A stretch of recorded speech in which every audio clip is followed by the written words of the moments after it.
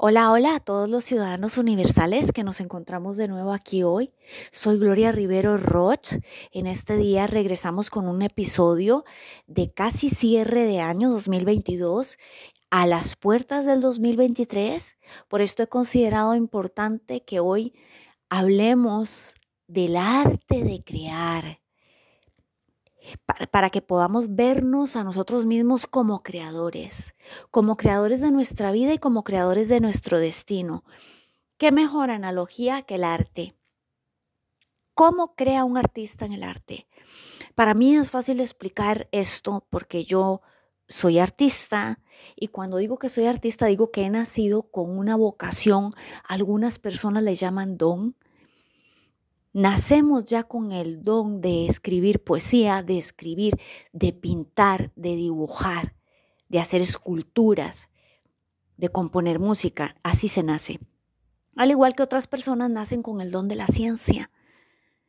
Esto, esto es inherente a mí, el arte. Pero quisiera compararlo con lo que todos los que me están escuchando, independientemente de la profesión que tengan, tienen al igual que yo, un don, una capacidad, una facultad de carácter superior para la creación, la creación de nuestras vidas, la, creación de nuestro futuro, la edificación de nuestro presente.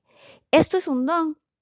Sin embargo, nosotros, a través de nuestro desarrollo, nuestro crecimiento en la vida, usualmente no utilizamos esta herramienta. Lamentablemente. ¿Por qué no utilizamos esta herramienta? Porque estamos acostumbrados a seguir las corrientes exteriores y estamos acostumbrados a que las decisiones importantes de nuestra vida sean definidas por la referencia externa e inmediata. Es decir, nosotros casi siempre seguimos o a la masa o al entorno. Cuando seguimos a la masa y al entorno es que confiamos más en el consejo de otros, en, las vidas que podemos tomar de, de inspiración de los demás, antes que en nuestro propio criterio de elegir cómo nos podemos mover. Por consiguiente, desvaloramos nuestro criterio y sobrevaloramos el entorno, la referencia inmediata. Permitimos que las circunstancias exteriores definan lo que va a ocurrir con nosotros. Poniendo un ejemplo muy sencillo, cuando todos hemos experimentado situaciones difíciles, cercanas, duras, de cuestiones de enfermedades, de pérdida, de pérdida de trabajo, de situaciones complejas, complicadas en el entorno, ya sea familiar, laboral, nos asustamos, tememos, nos sentimos identificados de manera que relacionamos casi que personalizando todo lo que le ocurre a los demás como que nos está ocurriendo a nosotros, ¿verdad?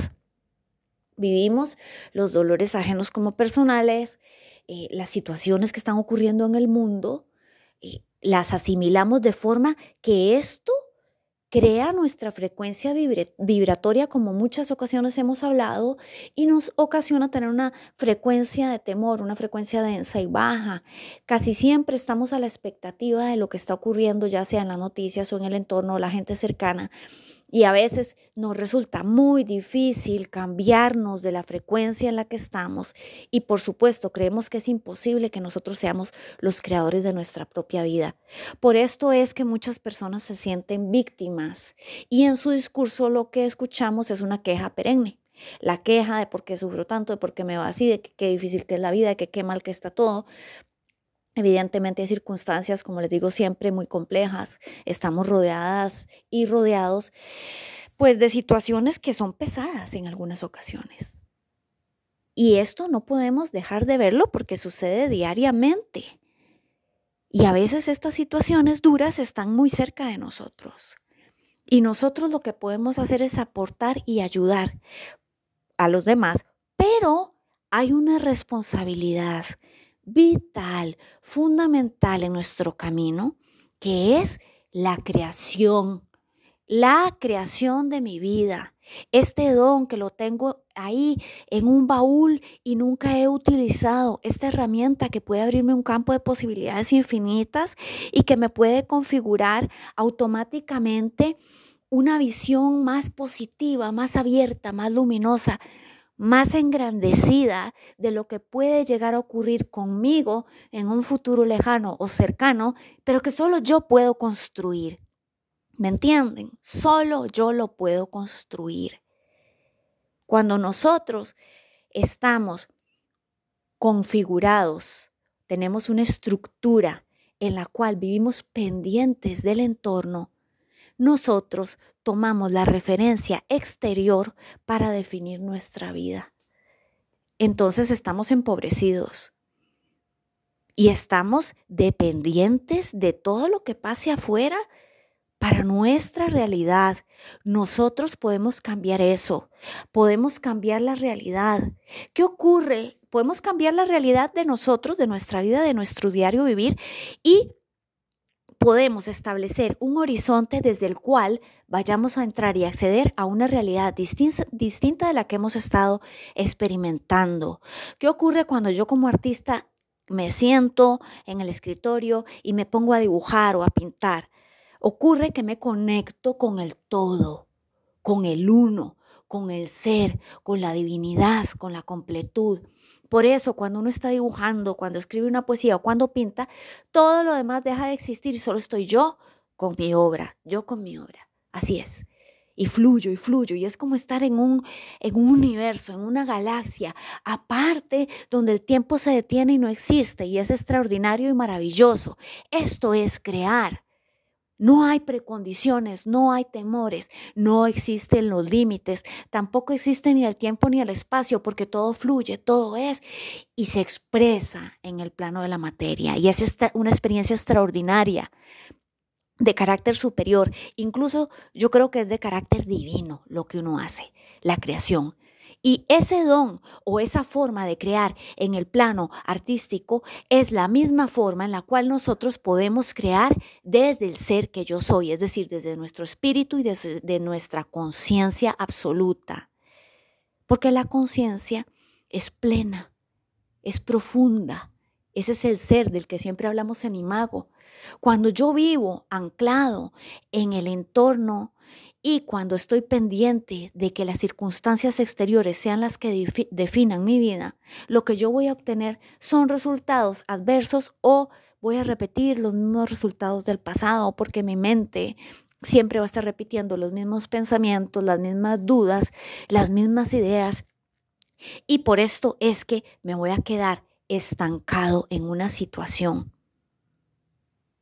En una situación o en un espacio en el cual yo no me siento totalmente a gusto. Y esto va a tener que ver con mi estado de ánimo, con mi estructura mental y por supuesto con las decisiones que yo tomo. Socialmente, cuando nosotros crecemos de esta manera, siempre tememos, tememos al futuro, tememos a lo que va a pasar, tememos a las situaciones de vulnerabilidad. Todo nos pesa mucho ¿Cómo puedo yo cambiar esta forma en mí?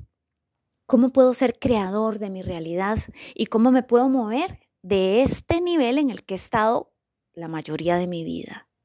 Primero es darme cuenta de que yo tengo un recurso y una herramienta que nunca he utilizado y que está en mi poder. Y lo más importante, es un recurso mío que nadie me puede dar.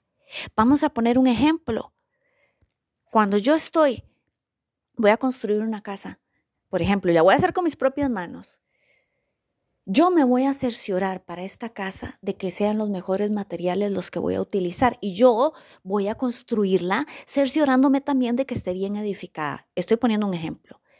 Si yo permito que otras personas que tienen otros criterios para ellos beneficiosos, pero que puede que para mí no, me traigan diferentes tipos de materiales, va a ser una edificación azarosa en la cual yo no voy a haber intervenido y al final aquello puede ser un riesgo para mi vida porque tal vez los cimientos no sean seguros y tal vez la estructura no sea de calidad. ¿Me explico? Igual que cuando yo estoy haciendo una obra de arte, yo no le voy a dar mi pincel ni mi lápiz a nadie. No existe nadie más cuando yo creo, solo yo soy la creadora, punto. Punto. Y en mi vida yo tengo la responsabilidad y el compromiso que cuando yo encuentro cosas duras, difíciles de asimilar, tengo que detenerme y enfrentarlas y trascenderlas y darme cuenta que estas circunstancias no tienen el poder para definir mi futuro ni mi vida y que la única que tiene el poder en esta vida para transformarme soy yo y yo soy la creadora de mi realidad.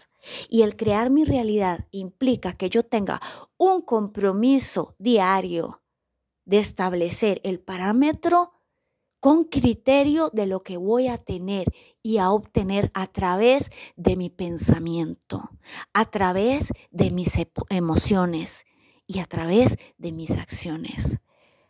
Entonces, es muy distinto vivir ausente, ausente de mí mismo y a expensas del ruido exterior, que es como vivimos siempre. Por eso es que vivimos temerosos. Por eso es que permanecemos en la queja, en el discurso negativo. Por eso nos sentimos vulnerables e inutilizados. Porque siempre vamos a tener referencias negativas en el exterior y siempre va a haber este ruido. Y nosotros podemos utilizar los consejos, el apoyo, todo eso es muy valioso, pero si yo realmente quiero cambiar mi configuración de vida, yo soy la que habito este cuerpo y yo soy la que tengo este cerebro y yo soy la que soy un ser superior espiritualmente hablando, que tengo una capacidad de dirigir este camino.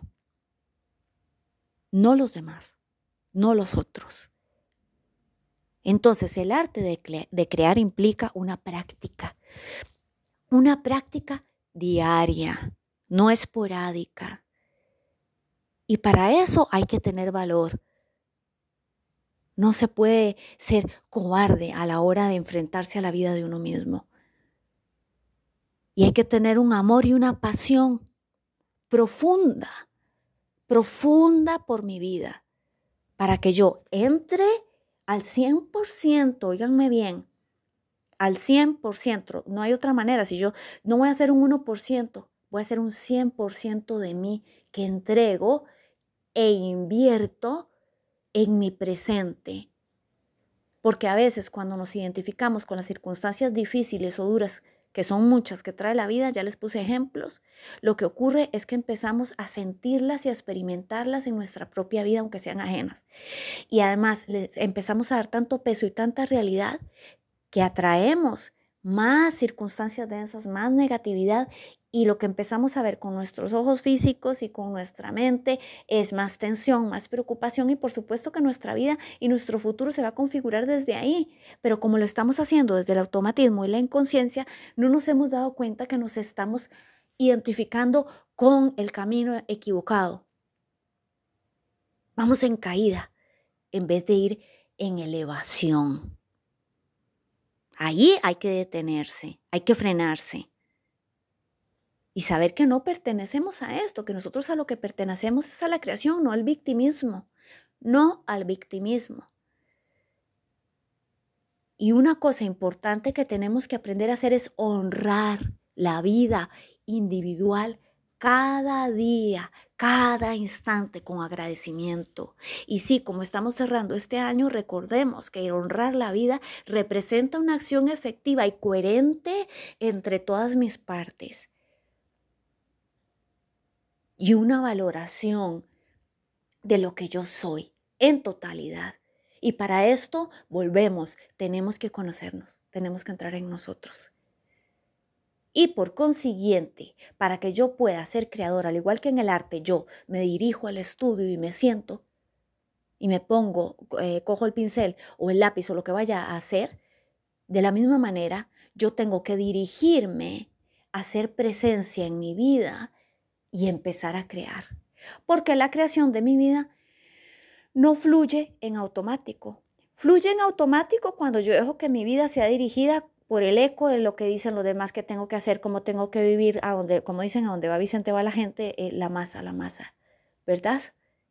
Ahí mi vida va en automático, entonces yo voy a ser como un péndulo de acá para allá, eh, respondiendo a todos los ecos exteriores. Muchas vidas son así. ¿Verdad? Entonces yo voy a tener que tomar la responsabilidad de redirigirme y reconfigurarme cada día. Y para eso tengo que tomar una decisión muy clara. Es una decisión muy clara de que yo quiero construir mi realidad. Y construir la realidad no solo quiere decir que uno se siente y escriba en una libreta mis objetivos y las cosas materiales que quiero alcanzar y lo que quiero llegar a ser y al país que voy a ir y a dónde voy a viajar, etcétera, etcétera, o con la persona que voy a estar. El construir mi realidad quiere decir que yo asuma mi responsabilidad por donde estoy y por lo que soy. Lo que soy hoy es mi responsabilidad, todo lo que soy hoy. Y olvidarme de la culpabilización, de los señalamientos y asumirme en mi presente por lo que yo soy en totalidad y saber que de aquí en adelante solo yo tengo la batuta para lo que va a seguir. Siempre tengo este poder sobre mi camino, siempre tengo este poder sobre mi camino. Y aunque seamos vulnerables, aunque en algún momento suframos, aunque padezcamos pérdidas, etcétera, etcétera, etcétera, siempre voy a tener este poder porque dentro de mí hay una infinitud hay una profundidad. Si yo no conozco esta parte de mí, soy un extraño para mí mismo.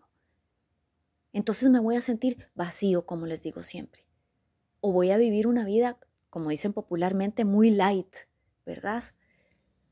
No una vida profunda. Todo es elección, todo es decisión.